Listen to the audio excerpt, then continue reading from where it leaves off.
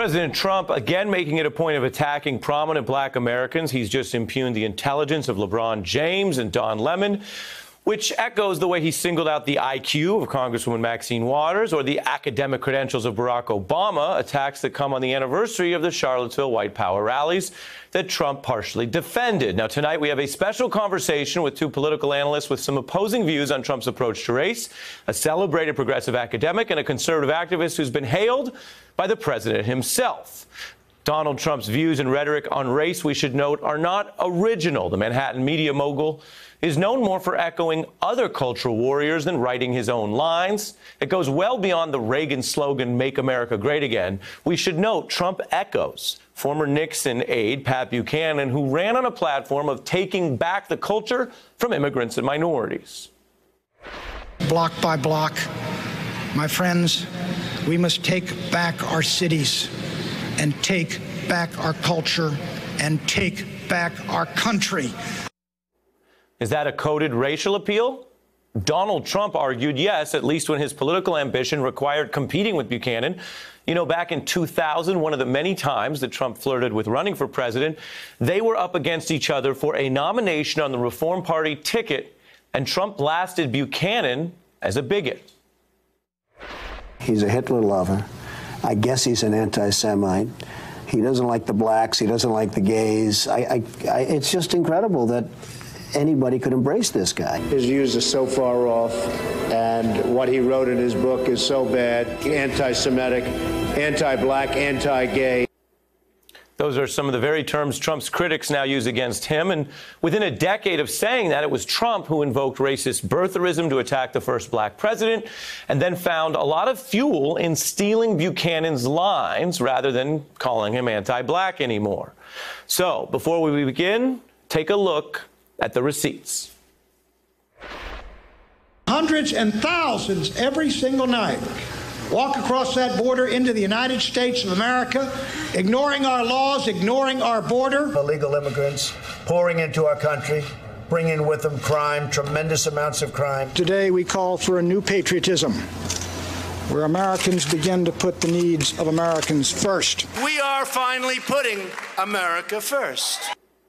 For tonight's discussion, we're joined by conservative activist Candace Owens. She's with Turning Point USA, and she argues African Americans are doing better under the Trump presidency. She's drawn praise for the way she thinks from none other than Kanye West, who has praised Trump, while the president also hailed her impact and contribution to this dialogue. On the other side, we have Georgetown professor Michael Eric Dyson, a nationally recognized expert on civil rights, who argues Trump is emboldening white supremacists. He's the author of 21 books, including what truth sounds like. Uh, thank you both for doing this discussion. Thank, thank you. you for having us.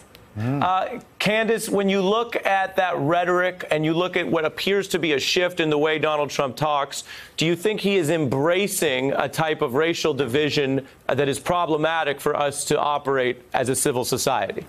Well, the first thing that I look at is the date of the tapes. It's remarkable that we are pulling tapes and you've gone into the archives and we're looking at the year 2000. I think people are entitled to evolve their thoughts over 18 years. Um, the second thing that I think is quite remarkable here is that we're talking about racial division and what sows racial division. I think the fact that every time I'm invited onto this network, I'm being asked to dispute another black person. The black community is broken up um, in general, and I'm, I do not want to partake in any of that. We're uh, just ending a weekend where 71 black people were shot in Chicago, 13 of them killed, and we're not talking about that. Instead, Wait, we're talking well, about old We're going to talk about all it. You have Donald a problem. Trump. No, we're not. I have a problem that we're doing wall-to-wall coverage on two with who you're appearing on this. No, I don't have a problem Candace, you have I'm a problem saying, with who you're appearing no, on this segment with? I'm respectfully saying to him that we should both decline tearing apart the black community for the sake of television. And because MSNBC always invites me on to do that, I am declining to do so when our community is mourning the 71 people that were shot over the weekend. We need to stop this warfare and come together and talk about things that matter. And what is going on in Chicago is a bigger topic and should be a bigger topic on this network than what Trump said 18 years ago and whether or not it means that people change over 18 years, which, shocker, guys, they do. Well, I'm going to have the professor respond, but I have to respond on behalf of myself. You knew what you were invited to discuss, and we're happy you're here. It's very important to me in this show that we have these conversations and invite a lot of people of all perspectives. If there's a problem with that, I, think you knew what the invite was to, to begin with. Professor Dyson, your thoughts?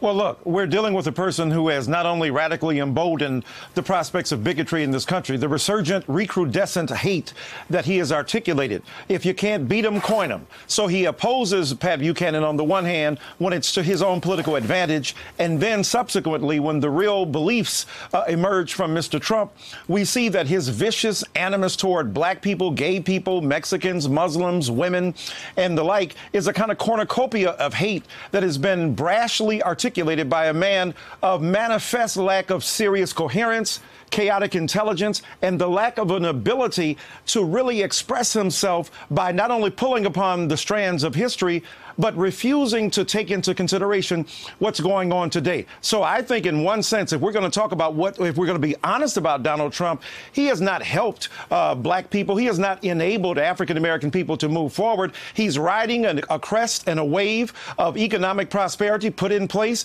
by his predecessor, Barack Obama. He has refused to acknowledge the centrality of police brutality and unarmed black people being assaulted by people in this country. So the reality is, is that Donald Trump, while claiming through rhetoric to be for the blacks, what he has done is undermined the capacity of African American people to exist in a country where it's not only about the economic facts and the wherewithal that we uh, contend with, it is about the tone, it is about the rhetoric, it is about the atmosphere that has been unleashed here. And Donald Trump has done something very dangerous and destructive. He can't see the difference between an anti fascist and a person who supports it. He can't see the difference between somebody who's against black people and who is for them. So when he draws false equivalencies between both sides, he negates the ability to say, look, I believe in rational civil discourse in America, but I take a side morally and politically. We are now 53 if I, if years to the date. for a quick second. 53 um, years. Let me finish this. 53 years beyond the date of the voting. Let me finish Candace, this. We'll go to we'll go to the professor, and then we'll go back to you, because this is- Candace. this is just Professor 53 Dyson, you can finish, and then we'll go back to Candace. Here we are, 53 years past the Voting Rights Act.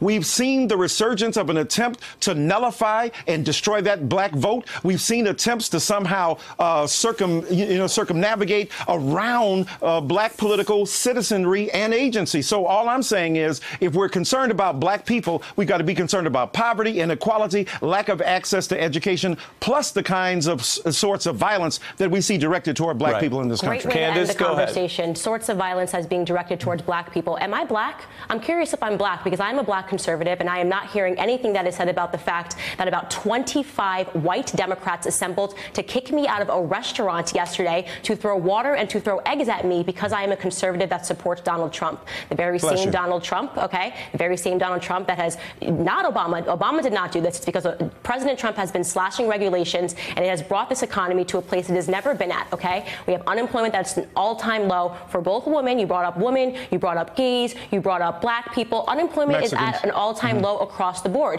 You guys to refuse to acknowledge the truth that we are doing better. You want to talk about fascists? Antifa attacked me. This is an all-white gang that attacked me and attacked an all-black police force in Philadelphia, okay? And they claim to be fighting racism. How is it plausible, Professor, that you allow this to happen to your community because you've decided that because we are ideologically conservatives, you are okay with this? You're okay with the resurgence of of, the all, I haven't Democrats? said a word. I- don't don't cut me off. I haven't you said a word. You just said a lot of words. A I lot didn't of, say a actually, word. If we, Uh, no, no, no. was counting. I- I said nothing about count. you. Now you're I cutting me said off. nothing okay? about you. No, no, no, no, no. I- you're I me find what I happened to you reprehensible, by the way. I still have to keep it going. Candace, Candace, we're gonna are take a pause. No, no, Candace, I, I didn't get to I'm finish. gonna just let went you- on for five minutes straight. You are attacking your I'm argument you that you just finish, made but if you're calling out the professor, I have to give him time. So, Candace, go liberals ahead. have been attacking conservatives, and you guys say nothing about it. Blacks were attacked said nothing about yesterday, okay? And they were attacked because they support Donald Trump. Black support for Donald Trump has doubled since this time last year. You guys can try to pretend that he is pushing in a racist era in this country when in fact we know the Democrats are the racists, have always been the racists. The parties never stri- switched, and you should know this as a civil rights person. You know the history. You know the So, people under the hood of the KKK. Let me- let me respond. Were Candace, Democrats, and the give- party never switched. And Candace, a I'm gonna give the you should professor a defend chance what to happened respond. to me yesterday and defend our community being attacked because we support Donald Trump because we understand that we have better Okay. economic ep- opportunities under him than we ever had in Obama. Let me- and let me shame on you for crediting Obama. Candace, I'm gonna give the the professor a chance to respond. Under his administration, he allowed allowed the bloodshed. And Trump Let me say wanted to send the. National Guard, and the Democrats stopped him. I'm really first done with all, this. I'm done I with don't, this I don't want to racist have to narrative. talk over Let's people, talk but about we the have to go facts. back and forth. Let's talk about and, the and facts. Candace, we're going to have to take a pause there. Couple things. You're you're making a personal attack on the other guests, so What I have to give them a chance with? to respond. Let me let me respond. First and of all, I I, also never have to said. say, and Professor, I'm going to go back to you. I also have to say the topic of this discussion that we have tried and, and perhaps are, are failing on live television to discuss Right. is Trump policy. The incident that you're referring to yesterday is, is not necessarily this topic. It's a Democrat Uh, policy. and so we'd have Maxine to Waters, when gather you see them in more restaurants, go information. up to them. It's- so it's I'm a going to go to the Democrat professor. policy. Professor, Yeah, you get me- a chance me to respond, sir. First of all, I never said anything about Ms. Owens. I never directed any animus, any particular rhetoric, any any conversation toward her. So first of all, when she say you allowed it, first of all, I'm not God. I don't control the universe or weather. I don't control the atmosphere, geology, or geography. So I did not point these people toward you. I think it's reprehensible that any human being is, uh, uh, if you will, put out of a particular establishment because of her ideology. I think that that's problematic. So I did not suggest that. Number two, uh, yeah, you are black and I am black, but that doesn't mean that automatically we agree with everything. You of course not. We should Let me finish. another. Now, now, what I'm saying to you is that when you talk about me as disrespectful, uh, the, the, here's here's what's interesting to me. Uh, you have come on here and, like Donald Trump, reduce everything to narcissistic self-preoccupation and articulation of your. let me finish. What you're Narcissistic- I saying mean, what here. saying right so now? what I happens to Black. America happens to you. So black people are reduced to what? Can you, uh, Ari? Can I finish my point? I didn't jump on her. Well, we- Can I finish my using a point? bunch of big Can I finish my point? myself. Can I We're finish? out of time. We had nothing. we put aside eight minutes. vocabulary to say Narcissism, whether nothing. black or white, is problematic. Candace Here's a Owens, woman incapable of arguing, I therefore thank you she articulates We will and be right overspeaks back. people. Bless your heart, little girl. Hey, I'm Ari Melber from MSNBC. You can see more of our videos right here, or better yet, subscribe to our YouTube channel below. You could have been anywhere in the world, but you're here with us, and we appreciate that.